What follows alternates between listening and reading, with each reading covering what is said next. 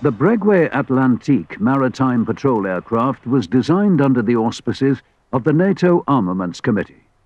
Forty were delivered to the French Navy, 30 to Germany, 9 to the Netherlands, and 18 to Italy.